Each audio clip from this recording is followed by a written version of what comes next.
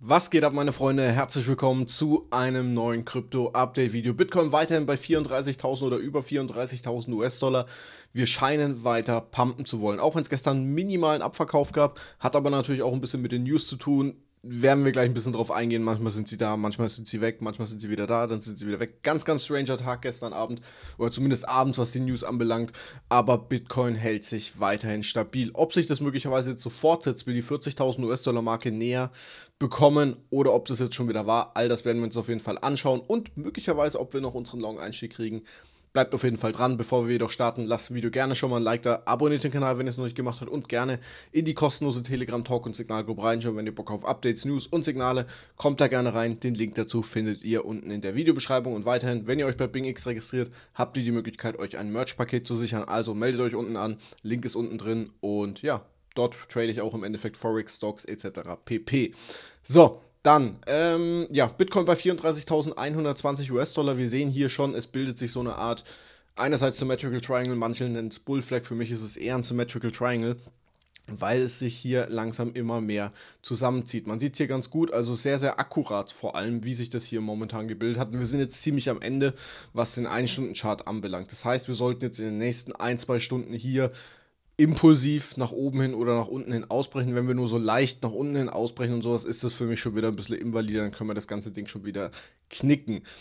Was hat gestern zu diesem Abverkauf geführt bis auf 33.200 US-Dollar? Ganz einfach, wir hatten gestern hier dieses äh, ja, iShares äh, Bitcoin BTF äh, relisted Ding hin und her. Erstens war es weg, dann war die ganze Seite ähm, hier mal ganz kurz down von denen von, von der DTCC. Äh, waren anscheinend zu viel auf der Seite und mittlerweile ist es wieder klar, okay, es ist wieder auf der Seite. Also ein Hin und Her gestern, erst so, oh, wieder Fake News, dann war es doch wieder real und keine Ahnung. Also es ist sehr, sehr strange, was da gestern abgegangen ist, ob hier einfach nur manipuliert wird. Keine Ahnung, für mich macht es einfach komplett den Eindruck, weil für einen Bitcoin Spot ETF müssen natürlich richtige Bitcoin gekauft werden im Vorhinein, nicht wenn das Ding gelistet ist. Es muss ja Nachweis geben. Für mich kommt es eher langsam so rüber, okay, jeder weiß jetzt, das Ding kommt. BlackRock, die Großen haben Angst, ah, wir könnten den Preis zu hoch gepusht haben, möglicherweise, was die natürlich nicht wollten. Ne? Und das sind alles so Dinger, die mir momentan so ein bisschen äh, im Kopf rumschwören. Auf jeden Fall sollten wir nach unten hin ausbrechen. Wir können uns mal ganz kurz, ihr wisst, ich bin kein Fan von diesen äh, Chart-Pattern, aber hier verläuft es ziemlich akkurat, weil unser Breakout-Punkt bzw. unser Preisziel würde dann genau auch bei unserer Long-Position liegen. Das heißt, bei 31,8, 31,6 da, wo im Endeffekt hier diese kleine Ineffizienz ist, die würde ich mir gerne holen und dann von hier aus einen neuen Anlauf nach oben hin starten. Wir müssen aber unbedingt, sage ich mal, die 30.000 US-Dollar Marke halten, weil wenn wir jetzt hier drunter fallen, also das heißt, diese ganze Bewegung, die wir jetzt hier im Endeffekt jetzt gestartet haben und dann wieder auf neutral setzen, meiner Meinung nach wäre das nicht gut. Es würde komplett ausreichen, wenn wir uns im Endeffekt das Golden Pocket holen bei den 31,8.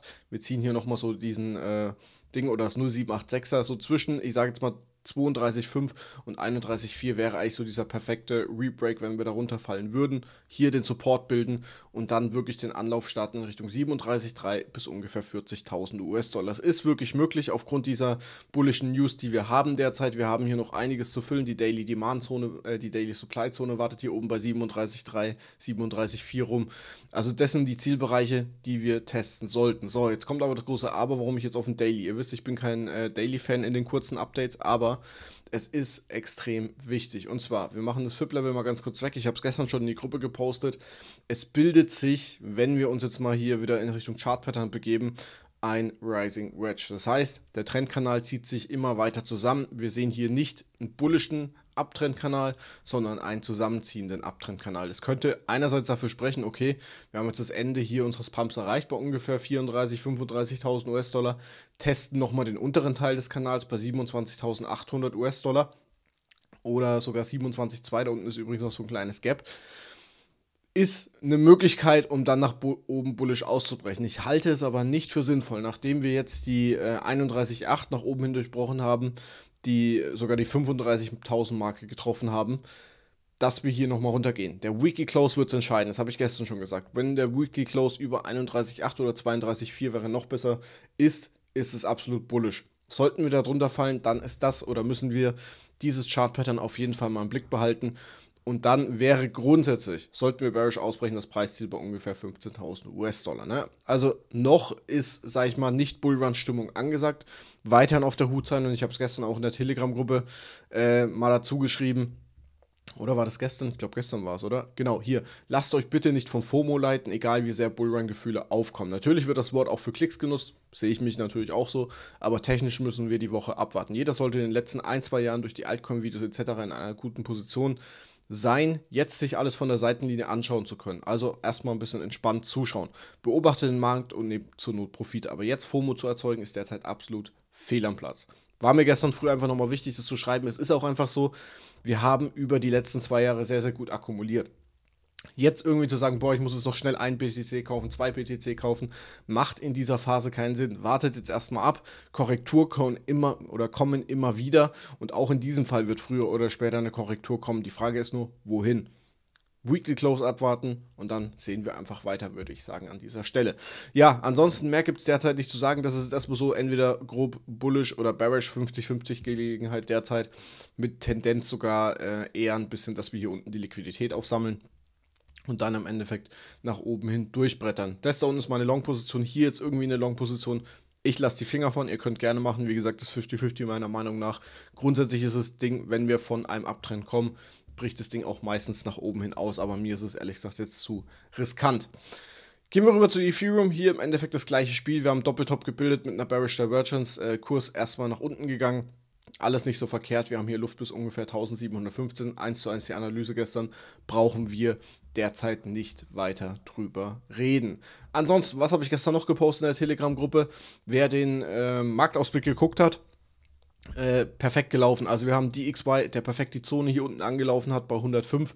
Daraufhin direkt äh, Gegenkorrektur gesehen. Dann äh, genau das Paradebeispiel Euro gegenüber US-Dollar, genau das Gegenteil. Zone gehittet auf den Cent genau oder sogar ein bisschen äh, noch tiefer rein. Dann eben äh, der Abverkauf und was hat man noch? Ähm, SP 500, gleiches Spiel, Zone gehittet und dann ging es nach oben erst einmal bis auf 4250 und Gold auch mit seinem ersten Take Profit. Und wenn wir uns das ganz, äh, mal ganz kurz auf den Charts angucken nochmal, äh, fangen wir mal kurz an mit Gold. Ich mag das irgendwie immer mal ab und zu so kleine Updates zu geben. Gold, nachdem wir hier diese Zone gehittet haben, nachdem ich euch das mitgeteilt habe, wird das so eine kleine Erholung, befinden uns hier aber immer noch in einem Downtrend. Also da wir versuchen, äh, tiefere Hochs zu bilden, läuft gut für unsere Short. Die Long wie gesagt, warten wir noch mit der Verdopplung. SP 500, wie gesagt, wenig verändert, seitdem ich gestern diesen Post gemacht habe. Auch hier hoffe ich noch auf weiteres Upside. Ersten Take Profit auf jeden Fall gesichert. Die XY deutlich über unserer Zone geschlossen, also die können wir wegmachen. Äh, wer da beim US-Dollar Long ist, auf jeden Fall erster oder zweiter Take Profit nehmen. Und wie gesagt, Euro gegenüber US-Dollar absolut short. Nehmt auf jeden Fall ersten oder zweiten Take Profit hier.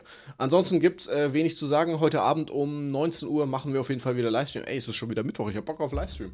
Äh, heute Abend 19 Uhr Livestream. Freue ich mich drauf auf jeden Fall, wenn wieder viele von euch dabei sind. Und ansonsten würde ich sagen, wünsche ich euch einen entspannten, äh, erfolgreichen Tag. Bitcoin, wie gesagt, alles entspannt. Verfallt nicht in FOMO. Bleibt ruhig. Und ja, dann hören wir uns heute Abend zum Livestream wieder. Freue mich auf jeden Fall drauf. 19 Uhr, YouTube, Like da lassen, Abo da lassen, Telegram-Gruppe joinen. Bis dahin, ciao, ciao und wie immer, stay cool.